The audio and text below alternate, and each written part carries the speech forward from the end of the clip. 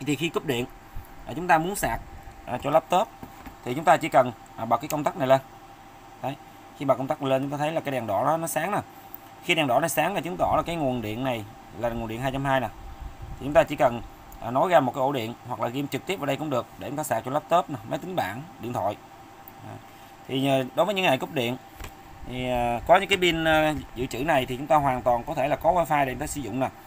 Rồi chúng ta có thể sạc cho laptop máy tính bảng rồi điện thoại để giúp cho ờ, các em nhỏ có thể là học ờ, trực tuyến. Với thầy cô có thể là ờ, giảng dạy online cũng như chúng ta thực hiện những công việc khi cấp điện thì bộ sản phẩm này nó phát huy cái tác dụng.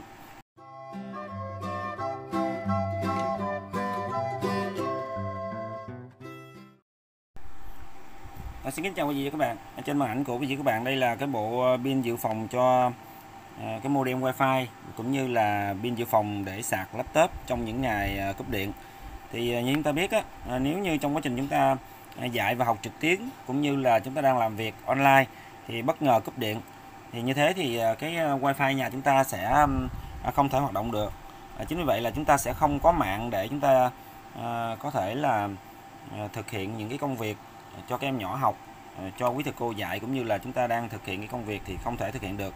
À, chính vậy là em đã à, chế tạo ra một cái bộ pin à, làm cái pin dự phòng cho modem wifi và dùng để sạc laptop như thế này. Thì cách sử dụng hết sức là đơn giản thôi.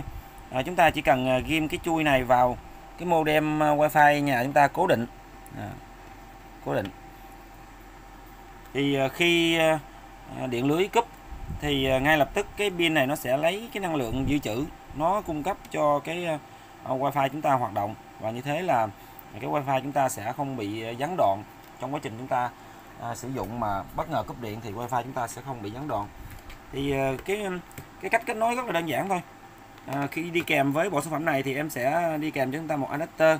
Thì tùy theo cái dung lượng mà em sẽ kèm với adapter 2A hoặc là 3A ví dụ như đây là bên này em đi kèm là một adapter là 2A thì trong quá trình chúng ta nhận sản phẩm này về thì chúng ta chỉ cần ghim cái chui sạc này nè vào trong cái rắc cắm này. Đó. và như thế là à, cái sản phẩm nó đã tự à, tự sạc cho cái cái pin dự trữ này.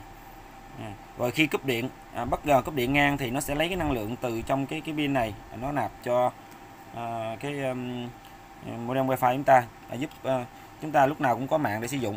Ngoài ra thì à, đối với laptop khi laptop chúng ta hết pin cúp điện laptop hết pin thì chúng ta hoàn toàn có thể là à, sử dụng.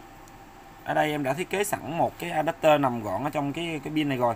Thì đây là nguồn điện 2.2 à, nguồn điện 2.2 thì khi cúp điện à, chúng ta muốn sạc à, cho laptop thì chúng ta chỉ cần à, bật cái công tắc này lên. Đấy khi bật công tắc lên chúng ta thấy là cái đèn đỏ đó nó sáng nè. Khi đèn đỏ nó sáng là chứng tỏ là cái nguồn điện này là nguồn điện 2.2 nè. Thì chúng ta chỉ cần à, nối ra một cái ổ điện hoặc là ghim trực tiếp vào đây cũng được để chúng ta sạc cho laptop nè, máy tính bảng điện thoại. À, thì ờ, đối với những ngày cúp điện, thì ờ, có những cái pin ờ, dự trữ này thì chúng ta hoàn toàn có thể là có wifi để chúng ta sử dụng nè.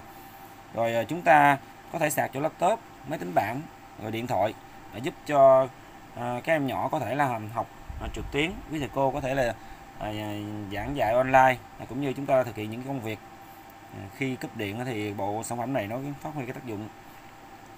Thì trong quá trình chúng ta sử dụng, nếu mà chúng ta không dùng đến cái nguồn 220 này thì chúng ta À, tắt nó đi nha. Để tránh cái trường hợp là nó sẽ hao nguồn không cần thiết. À, ở đây là đèn báo hiệu điện 2.2 còn à, phía cái đèn bên đây là báo hiệu pin của cái cái cái cái bình lưu trữ này. Nếu như cái đèn này nó sáng thì chứng tỏ là à, cái điện ở trong cái ắc quy của cái à, cái pin dự phòng này nó vẫn còn. Còn khi nào mà cái đèn màu vàng này nó tắt thì khi đó là nó đã cạn kiệt những nguồn điện.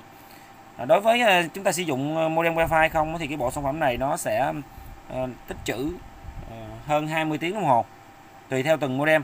Ví dụ như cái đây là cái modem wifi nhỏ thì nó có thể sử dụng từ 2 ngày cho đến 3 ngày luôn. À, còn nếu như modem wifi chúng ta là cái này mới bây giờ thì năng lượng nó tốn nhiều hơn thì ít nhất là cũng phải 20 tiếng. Nếu chúng ta không sử dụng nguồn điện 2.2 này thì ít nhất 20 tiếng. Để chúng ta thấy rất là tiện luôn à, chúng ta chỉ cần ghim vào. Chúng ta không cần phải một thao tác gì cả. Đây lúc nào chúng ta cũng vẫn để cái nguồn điện nó như thế này.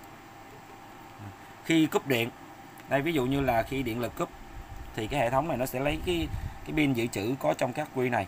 À, nó sẽ sử dụng cho cái modem wifi chúng ta.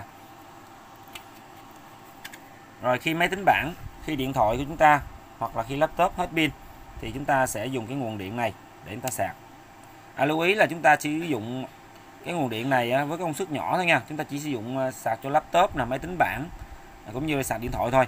Chúng ta có thể là vừa sạc laptop vừa sạc cho máy tính bảng vừa sạc cho điện thoại cũng được. Hoặc là chúng ta sạc 2 3 4 cái điện thoại vẫn được bình thường. Tuy nhiên chúng ta không nên sử dụng những cái uh, thiết bị có công suất lớn ví dụ như quạt lớn hoặc là đèn có công suất lớn chúng ta không nên sử dụng. Trường hợp đặc biệt thì chúng ta có thể dùng những cái quạt nhỏ từ 20W trở lại hoặc là chúng ta sử dụng uh, Ờ, những cái bóng đèn từ 10 15W đổ lại mà thôi, để ờ, phục vụ cho công ờ, việc là chiếu sáng cho chúng ta học tập và làm việc thôi. Và nếu chúng ta sử dụng càng nhiều tải thì cái ắc quy nó sẽ nhanh hết. Chính vậy chúng ta lưu ý này đó. Và tốt nhất là chúng ta chỉ sử dụng cho modem wifi và sạc cho laptop, cho máy tính bảng, cho điện thoại. Thì trên đây là toàn bộ cái phần em giới thiệu cái sản phẩm đó chính là pin dự phòng cho modem wifi, cũng như là pin dự phòng để chúng ta dành cho sạc cho laptop, máy tính bảng và điện thoại. Thì bộ pin em thiết kế như thế này rất là nhỏ gọn thôi. Cái hộp này là à, cái chiều dài là 20 cm chiều này là à, 12 cm và cái chiều cao là nó chỉ 7,5 cm thôi. Nó rất là nhỏ gọn. À, chúng ta hoàn toàn có thể là sử dụng cái nguồn điện này. À, khi chúng ta đi dã ngoại à, cắm trại hoặc là ừ, chúng ta đi ở những nơi mà không có nguồn điện lưới quốc gia thì chúng ta hoàn toàn có thể sử dụng cái nguồn điện này để sử dụng cho laptop máy tính bảng cũng như sạc điện thoại thì rất là thuận tiện à, đây là cái ờ, sản phẩm em ờ, thiết kế dành riêng cho nhu cầu của từng người. Ví dụ đây là cái sản phẩm này là 15 ampe thì mọi người có nhu cầu đặt hàng với cái cái dung lượng của cái cái bộ pin này nhiều hơn thì cứ liên hệ trực tiếp với số điện thoại em để trên màn ảnh cũng như dưới phần mô tả. Em có thể thiết kế là 15 30 hoặc là 45 ampe tùy thuộc vào cái nhu cầu của từng người. Dạ. Và rất là nhỏ gọn như thế này chúng ta có thể mang đi bất cứ nơi nào. Thì đối với cái cái cái nguồn này á thì cái đầu ra này là 5.5 chúng ta có thể ghim vào à, sạc cho à, như em giới thiệu đó, đó là modem wifi à, rồi à, à, những cái thiết bị sử dụng nguồn điện 12V khác. À, tuy nhiên cái rắc cắm này nè thì đây là cái chui dùng để sạc. Cái chui dùng để sạc khi có điện thì chúng ta ghim trực tiếp vào đó. Thì cái nguồn này cũng có thể sử dụng điện 12V bình thường nha. Ví dụ chúng ta có cái quạt 12V chúng ta ghim vào đây vẫn được nên là hai cái đầu này chúng ta hoàn toàn có thể sử dụng điện 12V bình thường. Vừa sạc vừa xả luôn. Còn bên đây á, là phần này là điện 220 bật lên. À, đèn sáng thì chúng ta sử dụng. Tắt thì chúng ta sẽ à, không sử dụng cái điện 220 này. Và xin chân thành à, cảm ơn mọi người đã quan tâm à, theo dõi video. Và mọi người nếu mà có nhu cầu thì chúng ta cứ liên hệ trực tiếp với số điện thoại em để trên màn ảnh. Em sẽ hướng dẫn chi tiết chúng ta cũng như là có À, cái um, sự tư vấn à, để cho chúng ta có những cái sản phẩm phù hợp với nhu cầu của từng người. Rồi, hẹn gặp lại chúng ta ở những video tiếp theo.